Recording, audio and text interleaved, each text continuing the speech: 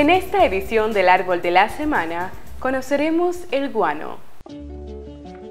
El guano o guanito, o también palmera plateada de la española, como le llaman algunos en el extranjero, su nombre científico es Coconutrinax argentea y pertenece a la familia Arecaceae. El guano de escoba, como también se le dice, que nada tiene que ver con el guano de murciélagos o murcielaguina, que es fertilizante natural, crece en zonas de bosque seco o húmedo de transición en la República Dominicana, tales como Santiago, Dajabón y Santiago Rodríguez en la línea noroeste, Peravia, Asua, Barahona y Pedernales en el sur e Higüey en el este.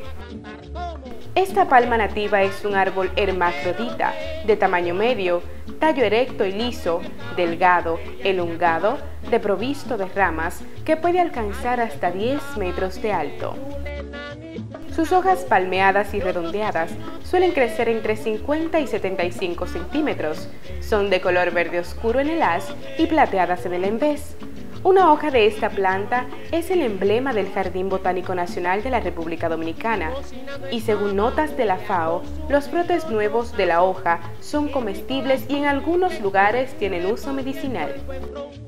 El fruto, que es una drupa, aunque parece una baya, es alimento importante de muchas aves en nuestro país, especialmente de nuestra cigua palmera. Las hojas del guanito son desde hace mucho tiempo un importante producto forestal no maderable. Se pueden cortar de 6 a 9 hojas por plantas sin menoscabo de su vitalidad, siempre que se haga en el menguante de la luna, o al menos eso dicen los campesinos experimentados. El corte se hace a cuchillo o machete cuando la planta está baja o de media altura, pero cuando crece hay que utilizar un podador rústico tipo os.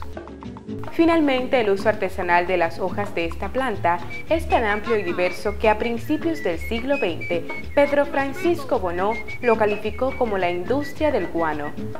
Sus maleables filamentos se adaptan a manejos múltiples para fabricar árganas, cerones, cestas, canastas, esteras, aparejos, macutos, sombreros, sogas o tomitas para forrar sillas y muebles, así como las populares escobas todo como parte de la herencia artesanal que nos viene desde los taínos, casi siempre practicado por mujeres de edad avanzada y raramente por los hombres.